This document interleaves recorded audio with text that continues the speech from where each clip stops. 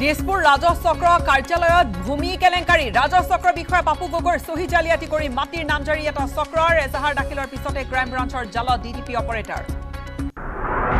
বিগত পাঁচ বছৰত অসমত চল্লিছটাতকৈও অধিক এনকাউণ্টাৰ। গুৱাহাটীত বিভিন্ন অভিযোগৰ শুনানি গ্ৰহণ। ৰাষ্ট্ৰীয় মানৱ অধিকাৰ আয়োগৰ তিনি কোটি পঁচপন্ন লাখ টকাৰ সাহায্য প্ৰদানৰ নিৰ্দেশ আয়োগৰ ছত্তীশগড়ত দ্বিতীয় পৰ্যায়ৰ ভোটগ্ৰহণৰ সময়ত মাওবাদীৰ আই ডি বিস্ফোৰণ নিৰ্বাচনী বিষয়াক টাৰ্গেট কৰি সংঘটিত বিস্ফোৰণত এগৰাকী আই টি বি পি জোৱান শ্বহীদ আহত কেইবাগৰাকীকো হাস্পতালত ভৰ্তি।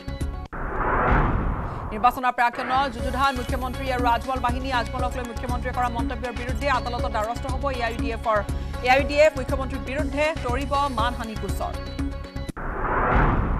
সাগৰীয় ঘূৰ্ণী মিধিলিৰ ফলত হঠাৎ সলনি হৈছে ৰাজ্যৰ বতৰ। ফাগুনৰ পূৰ্বে ধুঁৱলি কুঁৱলী হৈ পৰিল মহানগৰীত ফিৰফিৰীয়া বতাহৰ লগতে কিনকিনীয়া বৰষুণ গুৱাহাটীত শনিবাৰলৈ ৰাজ্যত য়েল্ল' এলাৰ্ট